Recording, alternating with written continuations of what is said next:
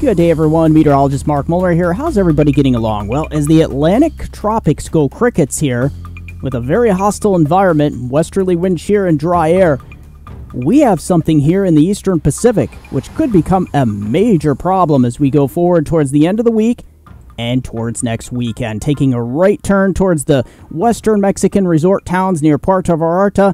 We'll see exactly what happens with the system. Will it affect the eastern part of the country or the Gulf of Mexico? And will crickets remain in the Atlantic? And we'll take a look at Typhoon Nesat over here, see what its effects will be on Vietnam. And if that weren't enough, we have a wintry side and a major trough we'll be dealing with across the eastern part of North America with some of the coldest air we've seen so far this season going into the fall season here will feel more like winter downwind to the Great Lakes Tuesday into Wednesday with potential for wet lake effect snow accumulations. Let's get into all the details and see what the pattern holds as we go forward. And taking a look at the Atlantic here, we're going to start off. Yeah, this does look impressive. I know a lot of you are probably thinking, well, aren't we going to watch this system out here? Well, watch how quickly the wind shear and the dry air gets to this, especially the wind shear. Look at that. And it takes it kind of northerly as well, but look at how it's kind of getting sheared apart. And look at here. You're wondering why there's no activity over here into the western Gulf and the east coast. Look at this big old front. And this hurricane starts to potentially feel the effects from this front but it's mainly going to be this high pressure system that's building and behind it that the periphery of this high is going to help steer that hurricane and I'll show you that momentarily in the Eastern Pacific. But take a look at this. Yeah we're starting to see a very hostile environment develop in the Atlantic. That doesn't mean we can't see any storms but look at this. At least through this forecast period the only areas I see that could be the potential when you start to get these stalled out frontal boundaries this is how, you know, Sandy kind of came out of this whole thing in, back in 2012. You have to watch these frontal boundaries that stall across from the Bahamas to the Caribbean because, you know, some things can spin out of these systems. You know, and with the kind of blocking pattern we're in, yeah, they can kind of head up like this and cause some problems here along the East Coast. So we'll watch this. We're definitely not going to put our guard down. There's that big hurricane in the Eastern Pacific. But look at this. Yeah, that's interesting potentially forming into some kind of nor'easter here. This is Sunday, October 23rd. Look at that. Definitely on our nor'easter radar here. Um, sometimes these can form subtropical lows too, but for the most part, it stays off the coast until you get up into parts of New Jersey, up to Cape Cod and southeastern New England. So we'll definitely watch this. We're kind of transitioning seasons here. We're bridging the gap. And look at this. We got a lot of tropical moisture. This time of year, as I said, we have to watch these kind of areas that are more persistent here in the Caribbean and parts of the Bahamas because we could see some kind of spin up and definitely you can get a hurricane pretty quick out of some of these spin ups. The intertropical convergence zone, eh, there are some waves, but it just doesn't look that great. And as we go in time, here it is. This this is what I'm talking about here. Yeah, we have two areas. This is Tuesday, October 25th. We have an area out here, but a more impressive area here just south of Hispaniola and Jamaica. So yeah, we're going to be watching this persistent area. We'll definitely look and see if it's coming in on the euro as well. You see, uh, there is a big old front that's kind of this point uh, becoming quite potent as it moves to the northeast, so this won't be too much of a factor in all this mess. But take a look at this. As we continue in time, it, it, it's just very apparent by this point, you know, we're nearing October 26th. This and this be, remains very persistent. So we'll definitely want to keep an eye on this. This is a trend we'll have to watch as we go in time. And there's the last frame. Uh, let's get into the euro here. All right, let's take a look at the euro here for the Atlantic. So essentially what you have, you have these very strong westerlies here, these troughs. This is very hostile. Yeah, there's the intertropical convergence zone, that one wave, but it literally gets blocked, cut off here. There's that area high pressure. It's going around the periphery, and then it starts to get sheared by this massive amount of westerly and southwesterly wind shear here. And you see how it just gets sheared apart. Well, there it is. These are the areas that I wanted to really keep an eye on here as we go towards Sunday, October 23rd the last full week of October. Take a look at this. We'll be watching these areas right around just east of the Bahamas, down and through parts of Hispaniola. Any one of these disturbances this time of year definitely has to be watched very, very, very closely. And you see the persistence of these. Never let your guard down with these, especially when there's this high pressure system just west of it. This trough is lifting out, and then you start to get a ridge. Any one of these systems could try to make a run up the East Coast. So we'll keep an eye on it here. So here we go for the Eastern Pacific. Take a look at this. This is our 70% area through day five. This is where the big fireworks show is going to be over the next 10 days. So as we put this into motion, We'll take a look at the euro momentarily, but this here is, my friends, is the GFS. Take a look at this. This is by, let's get our timestamp up there, Thursday, October 20th at 11 a.m. We start to see what could be a big tropical storm slash hurricane here. This is in the vicinity here of Acapulco. So here is Acapulco. Look at how close the center of circulation is going to be on this system. So take a look at this as we continue in time. Look how quickly it just explodes into a massive hurricane here. This is a perfect donut shape here. Yeah, these resort towns along the coast will be seeing tremendous amount of wave action. Would not be surprised if this obtains category 4 or category 5 strength. Look at this. Thankfully, for the most part, through this forecast period for Friday, there's Friday at 5 p.m., it remains offshore. But as it rounds the periphery of a upper level high here. So you know, you have this high pressure system back across parts of the Gulf of Mexico, the southeastern part of the United States. This thing's going to start to feel the outer periphery of this high, and I'll show you this on the Euro momentarily. But watch this. Watch what this system starts to do. It essentially becomes even stronger by Saturday morning or Saturday afternoon at 5 p.m. here. Take a look at this. Here's Puerto Vallarta, a uh, well known resort town here very beautiful location, but look at this. This this is how close this system's going to be by then. So we're starting to get the outer feeder bands definitely in these areas, these coastal uh, resort towns, and watch how quickly it turns to the right here it's a hard right turn, and you always have to watch these systems when they do this because they can continue to intensify. Look at how strong this is. This is a perfectly concentric system, and now with this model run, it takes it even closer to Puerto Vallarta here, which is dangerously close. And watch this as we go in time. We'll have to watch the trends, but the eye, the eastern eye wall, could be working its way onshore into portions of just west of Puerto Vallarta here. So definitely some tremendous damage, some storm surge. This is 8 a.m. on Sunday morning. And watch this. There is some weakening you can see going on, but by any stretch of the imagination, there's going to be tremendous surge and damaging wind and all sorts of inland flooding once this system makes landfall. Now, see, it kind of dissipates, it kind of gets absorbed into the westerlies, and you see its moisture start to come in the form of the southern plains by early next Monday, October 24th. All right, so taking a look at the euro here, let's take a look, see if it shows anything similar in the Eastern Pacific to the GFS. Well, we do have a hurricane out here, or tropical storm for that matter. It doesn't look as powerful, though, as the GFS has. But look at this. It does explode it into a hurricane. This is by Sunday, October 23rd, and it kind of brings it a little bit farther to the north up the coast. Essentially brings it in as a hurricane and quickly absorbs it into the westerlies. All right, so as we take a look at the euro here, take a look at this. Let's uh, back up there. We don't going to go out that far. Here we go. So this is the trough we're going to be dealing with. This is what's going to open up our first potential lake effect of the season this week in the form of that wet snow. Look at the extremes here. This is what you get. Massive ridge in western North America, this massive blocking up here in Greenland. I'll show you the NAO index momentarily, and you get this big old massive trough here across the eastern part of the United States. Look how long it takes to lift out, too. As we go into Wednesday, Thursday, look at this. We still haven't gotten rid of it by Friday.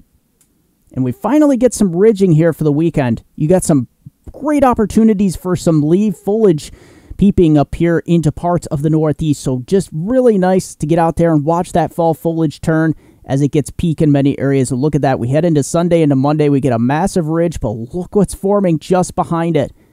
And does it really get in? We see more of a. This is interesting out here. Well, we'll have to watch the potential for, you know, any anything tropical, subtropical, or nor'easter in nature here, just off northeast of the Bahamas here, showing up here on the Euro. And let's actually take a look at the GFS momentarily as well. So, you know, as we continue in motion, let's get the make sure it's the latest. There we go. So look at this pretty similar pattern, ridging by the weekend, so it takes us four or five days to get rid of that massive amount of uh, troughiness. But look what's he- hanging out here off the southeast coast. That's that potential nor'easter. Let's see what happens with that. That kind of gets pushed to the northeast and absorbed. You have the high pressure here, massive high here, and this big trough. So essentially, we're starting to see a new weather pattern form along the U.S. East Coast, but there is kind of, oh, there it is.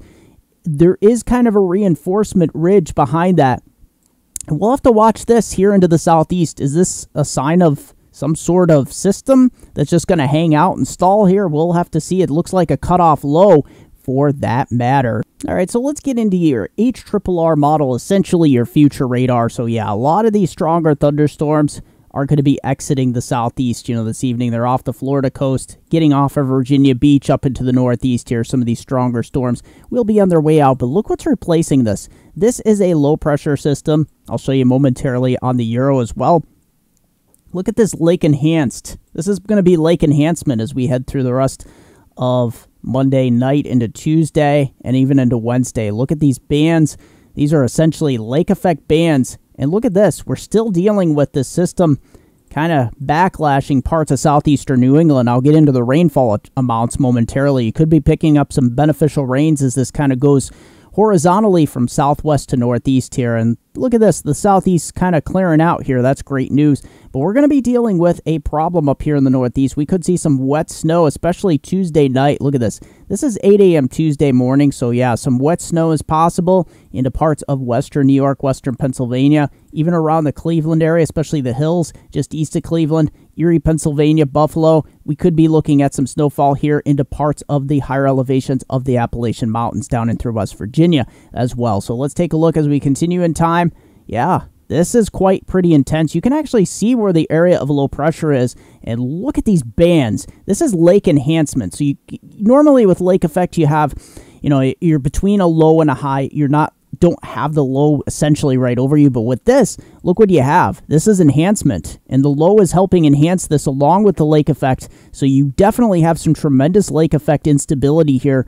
Uh, is definitely a high capability as well. And then look at this as we approach 11 p.m. This is midnight. 1 a.m. Wednesday morning. Look at some of these bands. I would not be surprised if some of these higher elevations above 2,000 feet could see upwards of two or three inches of slushy, wet snowfall accumulation, especially inland away from the lake as you get into northwestern Pennsylvania, these hills in southwestern upstate New York. Definitely want to watch this as these pivot towards the east. Look at this, how they start to orient in those west northwesterly bands here. So definitely going to keep an eye on this uh, for any lake effect uh, enhancement and development. And look at that. That stays persistent into 10 a.m. Wednesday, 11 a.m., noon. And look at that. Wow. That low pressure system still up here into parts of Ontario. It's slowly moving to the northeast, but look how it's enhancing this west and west northwesterly flow here across the eastern Great Lakes. All right, so taking a look at the euro here, let's take a look as we go into motion. Here is that big old look at this 996 millibar low. This is Tuesday, uh, Tuesday morning. You know, after the sun's risen, you can see these oriented bands of lake effect, and look at this big old comma shaped. Most of the severe weather by this point moving well off the coast, but look at this behind this area of low pressure. This is getting into Tuesday night. You see this westerly and northwesterly flow. That's where we're going to see, as I showed you on the HRRR model, a lot of tremendous amount of cold air and that will be crossing the Great Lakes with all that instability. And even into Thursday morning, we still get these bands of lake effect snow. Let's actually look into the Northeast here as we look regionally. Take a look at this. We'll zoom in here. You can see the evolution of this system. So as this low kind of hangs out over southern Ontario here, look at this enhancement that goes on, especially these higher elevations of western Pennsylvania. Definitely got to keep an eye on these. Some of these higher elevations could achieve advisory criteria snowfall here. You see, most of the time during the daytime hours, it's mostly rain, but it's at night you got to watch this, you know, heading on to Tuesday night, Wednesday night, early Thursday morning. And then the flow becomes a little bit more southwesterly here, so it turns the flow, most of these bands, lifting north towards uh, northern suburbs of Buffalo and Watertown, but they become a little bit warmer, so it's more in the form of rainfall. All right, so if we take a look at total precipitation amounts, you can see it's mainly going to be fine, defined across a couple areas through this weekend. You can see the northeast. Oh, there's something into the northwest coming in for next weekend, and southern Texas and South Florida here. So let's head our way up to the northeast here. You can essentially see as we go through time here, Monday, Tuesday, into Wednesday most of this back to the east. Actually, let's just back that up a little bit. We'll just go through this weekend.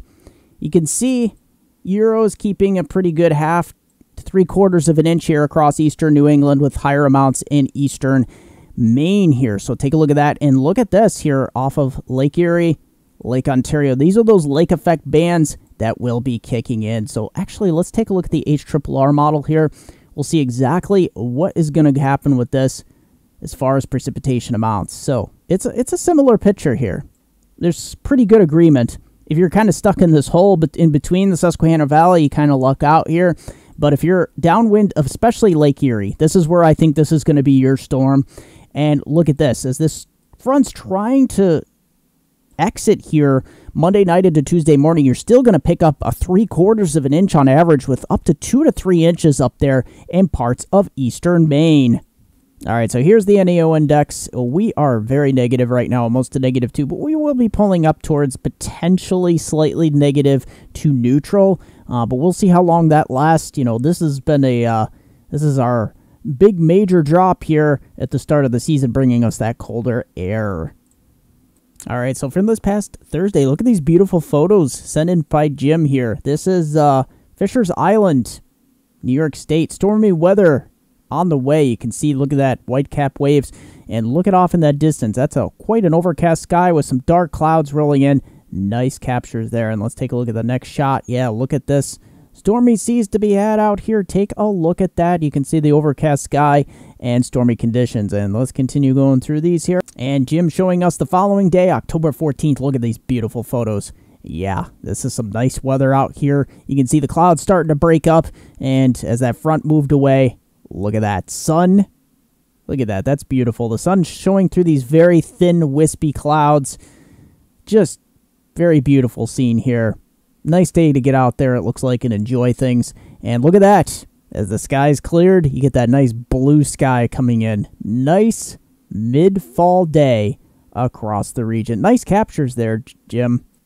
And take a look at John here back on October 15th over this past weekend. Huddersfield Soccer Football Stadium, UK. Look at that. Nice day to get out there and enjoy a cloudless, beautiful sky. Look at that nice green grass. Nice capture there, John. Looks like a good time. All right, so if we take a look at temperature trends here, let's take a look at your Tuesday. Yeah, this is where the trough's hanging out, those 40s especially north of that line. Watch how as we blossom towards Wednesday. Those 40s start to pivot towards the northeast here. You're still holding on to 55 to 60 along the U.S. East Coast. The west is actually pretty toasty all the way up into Washington State into the 70s. But look at this across the Northeast. We're stuck in the upper 40s and lower 50s. And then by Friday, October 21st, here, we start to push this big old batch of warmth towards the Northeast. Watch what happens as we head into the weekend. It's almost like an Indian summer here across the Northeast. Look at that. And we trade places here as the West gets that troughiness that I showed you in that upper level pattern. And look at this. This is by Sunday.